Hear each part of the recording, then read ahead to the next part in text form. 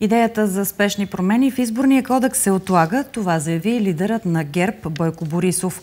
Той сподели намерението си България да се върне към изборните правила от 2009 година, включващи смесена система с мажоритарен и пропорционален вод.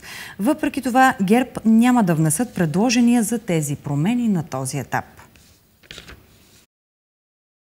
ГЕРБ няма да предлага промени в изборния кодекс на този етап. Това заяви лидерът на партията Бойко Борисов. Той опроверга критиките на политическите анализатори, че сред различните формации няма альтернатива, като подчерта, че в политическото пространство съществуват 39 различни възможности, за които хората да гласуват. Просто вече няма и време, а и видях, че от никой от колегите това не се поема като нещо, което поне да го говориме за бъдеще.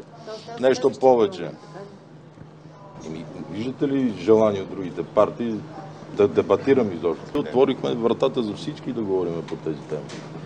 Не само към тях. От това, което вчерашния ден научихме, е, че колегите от ПП и ДБ искат да ни предложат пак от същото.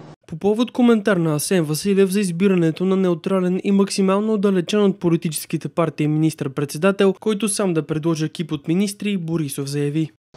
Кой ще предложи такъв човек?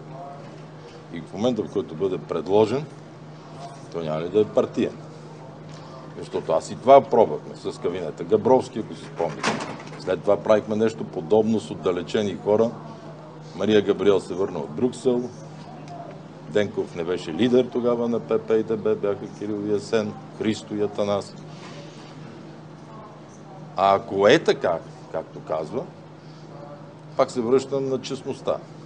Не е ли тогава време те да обявят, ние да обявим, ако ще е такава формулата на правителство, кой ще е то човек? За случващото се в ДПС Бойко Борисов коментира, че решенията на съда трябва да се приемат. Всеки ден ли ще се занимаваме с турски сериали, извинявайте. Всеки ден ли ще се занимаваме с ДПС. От 240 депутати, те ще имат 20-30. Останалите са важни. Бойко Борисов подчерта, че партията му трябва да се съсредоточи върху постигането на максимално добър резултат на изборите, за да се създадат условия за сформиране на редовно правителство след вота на 27 октомври.